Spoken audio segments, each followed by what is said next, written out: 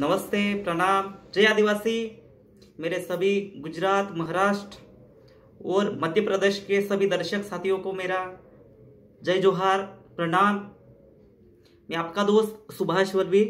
मैंने आपको लाइव आकर बताया था कि दो दो दिन बाद आप, आप सभी दर्शक मित्रों की डिमांड पूरी करने के लिए मैं सेंधवा जा रहा हूँ रितेश के पास।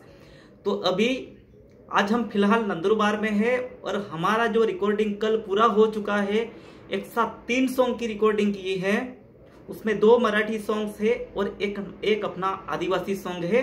सभी की डिमांड थी कुछ अलग और यूनिक बनाना तो हमने कुछ ऐसा सॉन्ग बनाया है जो सभी के दिल जीत लेगा। ऐसा सॉन्ग हमने क्रिएट किया है, बनाया है रिकॉर्डिंग हो चुका है।